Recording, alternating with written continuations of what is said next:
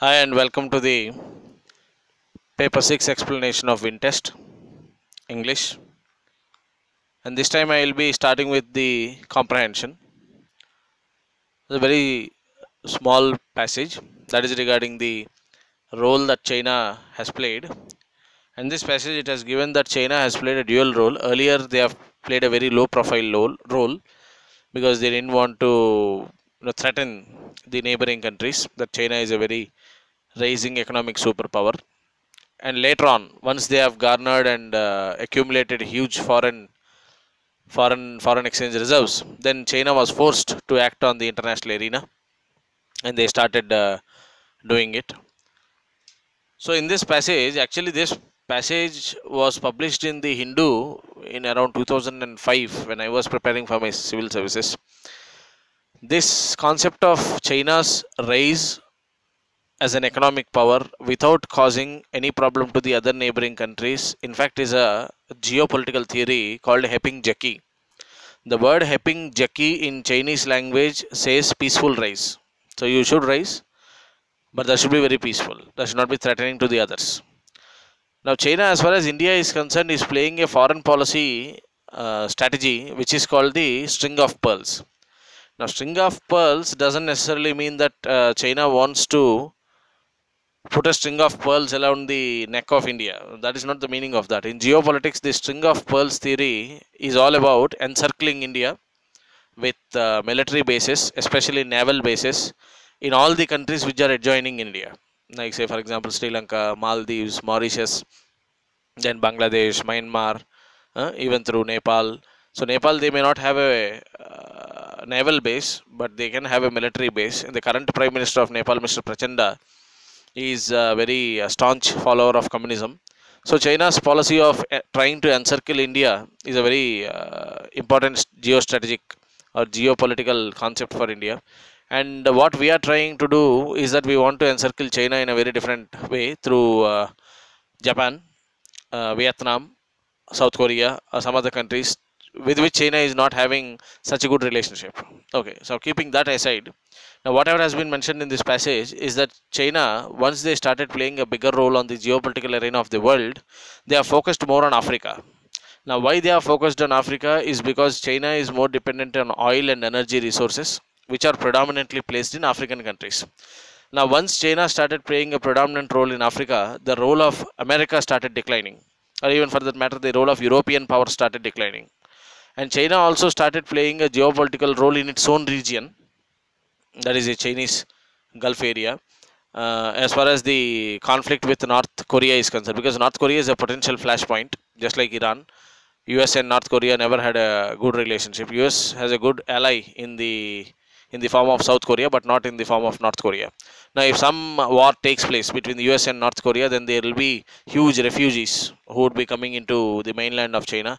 And China has got its own economic development plan for its northeastern region. So, therefore, China is so you know threatened by this uh, news of us getting into war with north korea so therefore china has participated in the negotiations with north korea even us has requested china to participate in the negotiation that itself shows that us is considering china as a very important strategic partner so that is what this entire passage says now let us go and start off answering the questions now the first question says why has China traditionally been a passive spectator in the global affairs? As I've told you, initially they did not play a bigger role, but later on they started playing a better role on the international arena. So initially, why do you think is China or was China a passive spectator?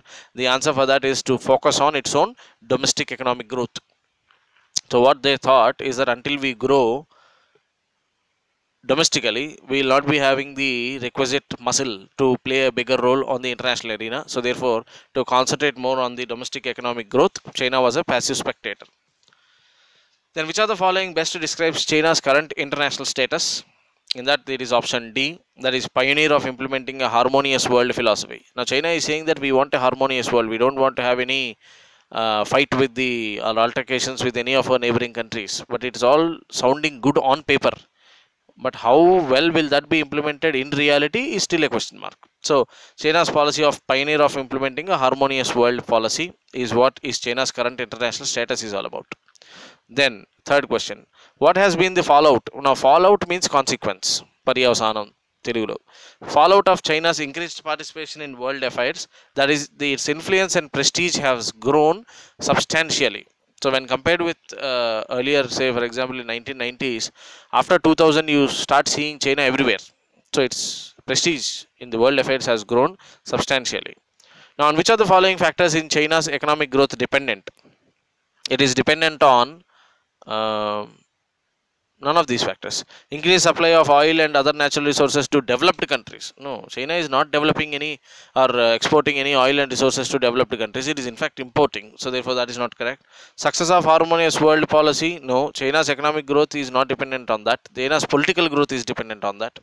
Political stability in africa? No. China's economic growth is dependent on political stability in its own region not political stability in africa. If you read the passage you will get the sense of it. So therefore none of these Next, which of the following is true in the context of the passage? Go to option D. The US has recognized and acknowledged China's growing international reputation. Reputation means fame, name, right? So why? Because I told you US has invited China to participate in negotiations with North Korea. Then the main purpose behind Beijing's intervention in North Korea is to do what? Go to option B prevent any hindrances to its domestic economic development program. Earlier also we came across this word called hindrance. Hindrance I told you is an obstacle. So China, the main purpose of Beijing intervention, Beijing is the capital of China, right? So interventions into North Korea's issues is because to prevent hindrance to its domestic economic growth because of the problem of refugees, which I told you earlier. Then which of the following cannot be said about China's international relations theory? Go to option D. It is a theory which explains China's sustained growth rate. Now, China's international policy has nothing to do with China's sustained growth rate, right? China's international policy, they have taken it in order to concentrate on domestic growth rate, but that itself is not the reason for China's economic growth rate. So, this cannot be said about their international policy. Next, which of the following is an outcome of Beijing's role in Africa? So, what happened when China started playing a bigger role in Africa? Automatically, the role of US and other European powers started declining. That you will find in option A. America's influence in the region has reduced. Next, which of the following is or responsible for China's active international participation? Now, what is responsible? That is the need to explore and expand to new markets. That is the need.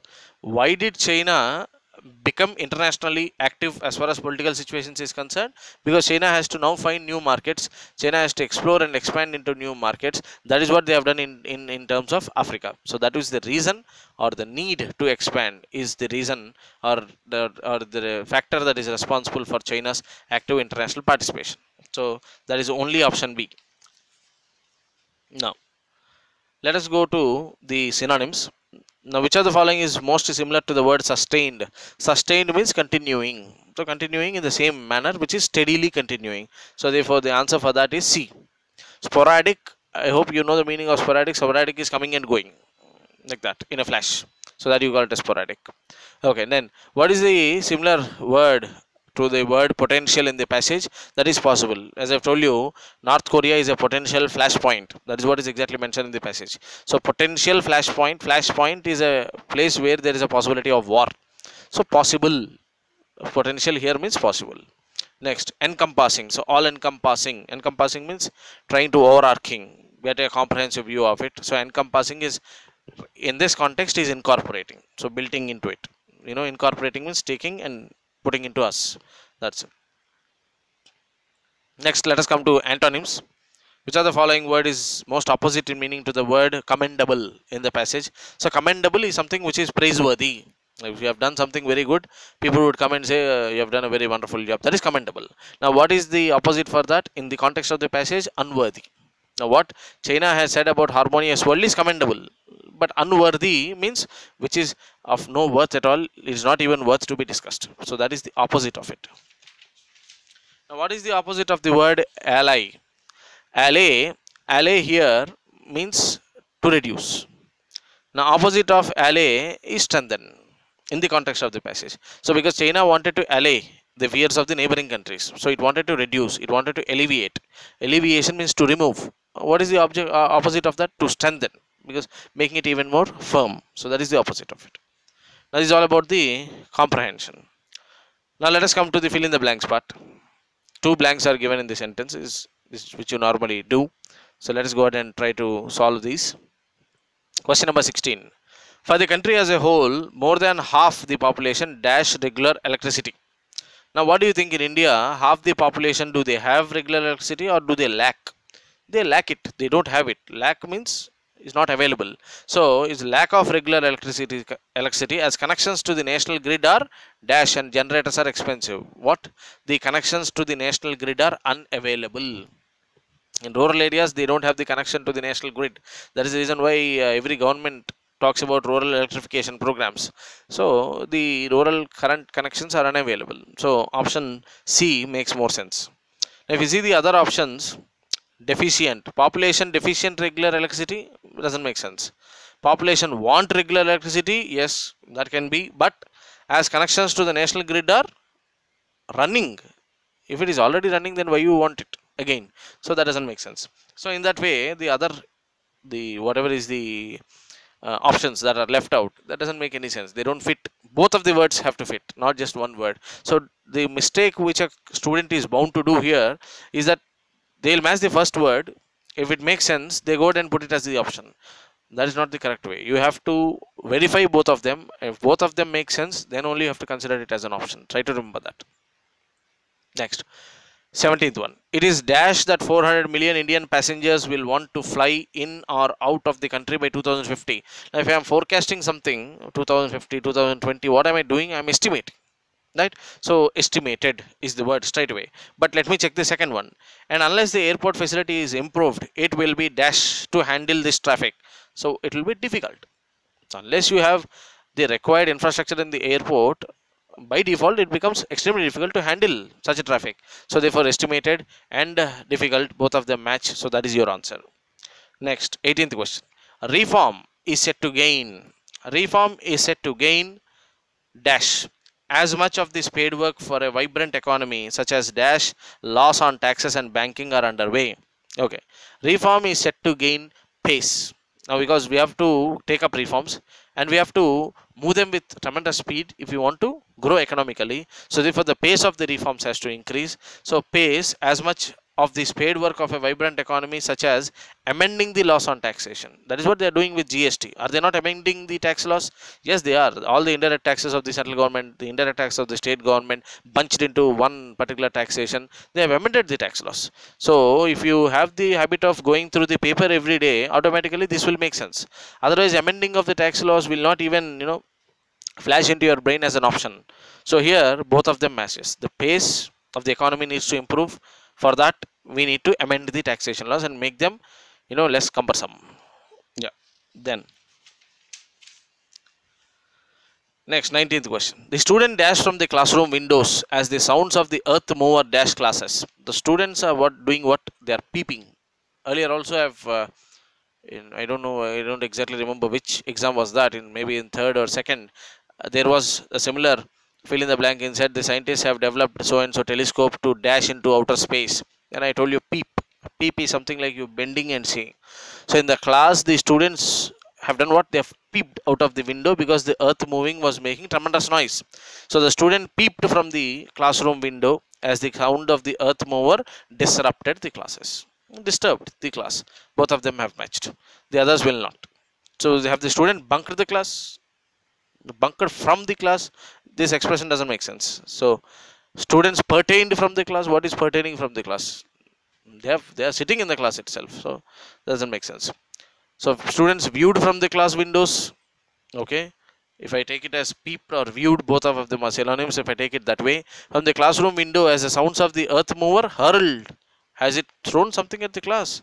Has it thrown something on the window? No nothing has been done. So peeped and disrupted. Makes sense Next, come to the last of the fill in the blanks. The dash of sheets on the hospital bed woke me from my dash. Now, woke me from my dream, I can say, second option. But the view of the sheets, if I am sleeping and dreaming, how can I view the sheets? It's not possible. So, I am, okay, let me take, uh, woke me from my sleep, if I have taken it then, the pile of the sheets on the hospital bed. Now, how can a pile of sheets wake you up? They make some noise, then you wake up right so that noise you will find in option d that is rustle rustling sound is the sound which is done by a plastic paper so that rustling sound has woke this person from his nap. Now, what is the difference between sleep and a nap? Sleep is something which you take it for a long term, say 7 8 hours or 6 hours. Nap is something which you take in the afternoon, Shesta, it is called. So, if you have taken a say a lunch and you've taken a break for half an hour and you take some nap, power naps you call them as. So, that is a nap. Nap is a sleep for a very short time, right? Now, I'm sorry, there are more of these. Uh, fill in the blanks let us go to 21st question then the inauguration ceremony went off dash okay a ceremony has to go smoothly without any disruptions okay desirably is also fine though without the chief minister the event lost some of its impression on whom am i going to do an impression no. So therefore the answer for that is sheen. Sheen in exactly uh, if i have to say sheen is the celebration. It's lots it's light or its sheen. Is that the, the so-called charisma which is supposed to be brought by the chief minister you, you lost it in the in the function. But it went on went on smoothly. So therefore smoothly and sheen makes sense. Next at 20 second although the warning signs have been dashed in the polluted air of urban india. Now you see here you may find it a little you know uh, problematic because you may not know this meaning of this word word called billowing. Now billowing is something which is filling you have filled something and even after filling you still pump something air into it it starts coming out it starts swelling out. So filling something and swelling out. Actually the air pollution has done that. It has already filled the entire air and now it is spreading it is even coming out. So the billowing is what you are supposed to uh, is the word which you are supposed to use here. So although the warning signs have been billowing in the polluted air of urban india the warning signs are increasing okay? Policymakers remain strangely apathetic. Apathetic means without making any uh, action. Inactive. In one word if i have to say that is inactive. So the policymakers in india are completely inactive to the fact that the pollution in the air is increasing in the urban cities especially delhi bombay. Yeah okay so that is about 22nd then let us move on to 23rd yeah now this is the last of fill in the blanks. The rows of people dash sludge. Now sludge is something which they remove from these manholes out of these drains, you see sewers. So the rows of people removing sludge, sludge or uh, sludge can also be said as something which is very sticky substance. Maybe because of an oil spill also you can have a sludge.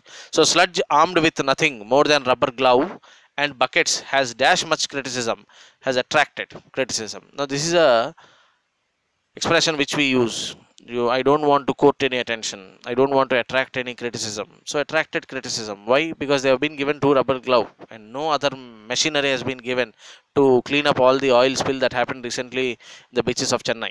So that has attracted so much of criticism. Others will not. If you have brought much of criticism that is okay. But the rows of people adopting sludge do you adopt the sludge? Will you take it home? No. So therefore that doesn't make sense. So even if the second option of brought criticism is to be ac accepted but the first part is unacceptable. So therefore option c makes more sense. So that is about the fill in the blanks. Now come to the last item that is the rearrangement of the sentences now this rearrangement is not like any other normal rearrangement. Unless and until you read this question properly you will not be able to answer this rearrangement properly. No option will make any sense to you. Why? Because read the question properly the question says you are not supposed to make any change to the first part until the forward slash.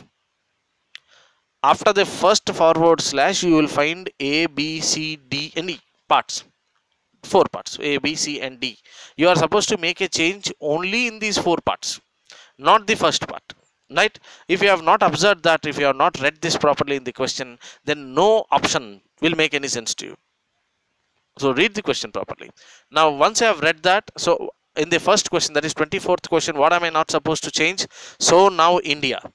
I'm not supposed to change any in that. Now continuation i have to do. So now india what can india do so it is about either we uh, make a trade off as far as our vetoing power is concerned. Or we want the enlargement of the security council or we what do you what are we supposed to do? What are we supposed to choose out of some of the options? That is what this sentence is all about. So let's see. So now india. Next comes b. Right? Either put aside its hopes of getting the veto power and continue. Continue with uh, c first concentrate on ensuring that the security council is enlarged. I'm sorry. So now india either put aside its hopes of getting the veto power and yeah and first concentrate on ensuring that the security council is enlarged. Um just a second. Hold this. Yeah. So now india either put aside its hopes of getting the veto power and first concentrate on ensuring that the security council is enlarged can lose out. Okay sorry there is an or here. Before d there is an or so i missed it. So let's go ahead again. So now india either put aside its hopes of getting the veto power and first concentrate on ensuring that the security council is enlarged or can lose out at the first base. So that is how you are supposed to connect it. Or can lose out at first base because it's too busy chasing an ephemeral dream ephemeral dream of getting a seat into the security council. So that is what it is. So it is first is b then c then then d and finally it is the a. Then go for 25th now. So in 25th but nelson mandela we are not supposed to make any change. That means the sentence will start with the words but nelson mandela. Now let us see how we can connect this. So but nelson mandela uh, so but nelson mandela uh, shifted the beliefs the beliefs of the people so that they could heal the racial conflict and could run a new modern country in a modern way. It's not modern actually it is modern. You're supposed to pronounce it that way. So now see but nelson mandela shifted the beliefs of the people so that they could heal the racial conflict and run a new modern country in a modern way. So that is the connection of this. So i I believe option a makes sense. C d b and then finally a. Next. There's a little tricky you have to be extremely concentrating on this if you want to get them right. Now let's go to 26 now. Now in this also but Kuala Lumpur is the starting. Now let us try to connect this with this. But Kuala Lumpur look at D is a city. So I'm talking about that city. Is a city firmly rooted in tradition where modern Malay Malay is something related to Malaysia. Malay executives might have a cellular phone in hand but will never miss Friday prayers. So Kuala Lumpur is a city which is firmly rooted in its traditions. So where you find the Malay executives having cell phones, that means they are modern, but at the same time they are deeply rooted into their traditions that they are not going to miss their Friday prayers. So I believe option B makes sense. Next get to 27 now. If farming, that is where we stop. That is the starting. If farming as a profession and as a way of, so that is B so if farming as a profession and as a way of life way of life is not to collapse there is need for there is need for attention. Today to farmers needs in the areas of water credit technology market land and agrarian reforms. So first is b which is saying that if farming is supposed to be a way of life it's not supposed to collapse then if the life of the farmer is not supposed to collapse then there is a need for us to give attention to the farmers needs in which areas? In the areas of water credit technology market and all the agrarian reforms. So i believe option A, B, A, C, D makes more sense. Next come to 28th the union cabinets until that point it is correct. That, that was the starting word or sentence. The union cabinets continue with that.